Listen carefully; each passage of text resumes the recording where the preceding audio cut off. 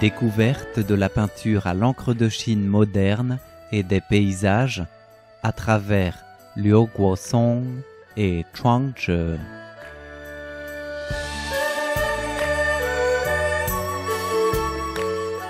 Liu Guosong est un grand peintre à l'encre de Chine des années 60. 1963 marque un tournant dans sa carrière. Insatisfait des possibilités du papier traditionnel comme support, Liu Guosong a inventé un papier de coton avec de grosses fibres qu'il a baptisé de son nom. Grâce à cette matière bien distincte, il s'est forgé ses propres caractéristiques artistiques. À partir de 1969, Liu Guosong a peint Les pas sur la Lune, à la suite de l'arrivée de l'homme sur la Lune. C'était une réaction à l'actualité internationale à travers l'encre de Chine. Cet événement lui a permis d'explorer le langage pictural de la peinture des paysages et de l'espace. Ses œuvres suivantes proposent des voyages spatio-temporels éternels entre le soleil, la lune et les paysages.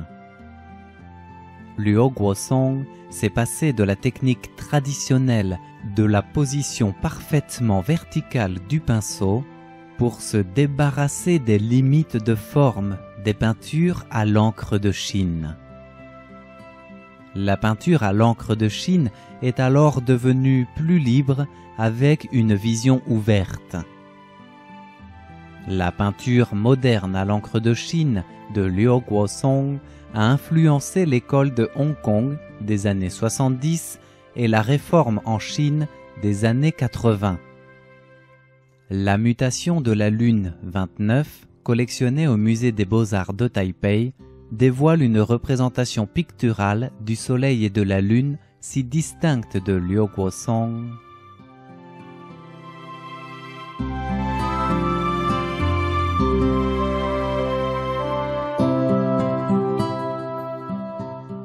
Chuang Zhe est un artiste qui a grandi et étudié à Taïwan.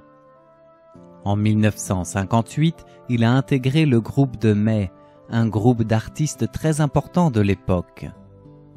Dans les années 60, la peinture de Chuang Zhe était marquée par la calligraphie et le collage. Il a expérimenté la peinture à l'encre de Chine avec le collage des papiers suènes pour rendre une image visuelle poétique. La peinture de paysages abstraits de Chuang Zhe retire la forme concrète des paysages pour ne plus représenter que leur essence à travers le jeu de touches et de couleurs. Les touches qui se mélangent et s'entrechoquent offrent un caractère doux aux œuvres.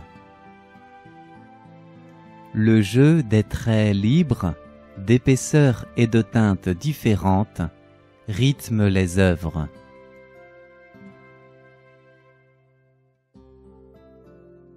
Le musée des beaux-arts de Taipei compte dans ses collections l'automne de Chuangzhe, réalisé en 1964.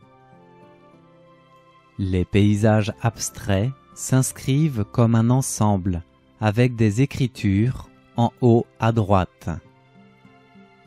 Nombre de ces créations des années 60 sont des collages où l'image visuelle est aussi exprimée à travers le sens des caractères.